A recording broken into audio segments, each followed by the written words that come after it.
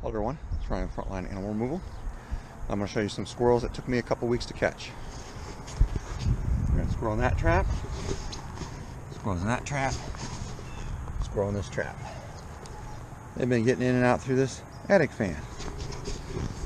You might be wondering, why did it take you two weeks to catch the squirrels? Well, I only set these traps yesterday, but let me show you why. Snow.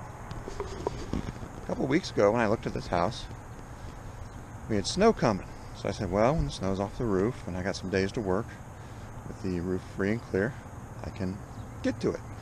Well, it snowed, and it snowed some more. Then it got really cold, and everything got icy, and we had freezing rain.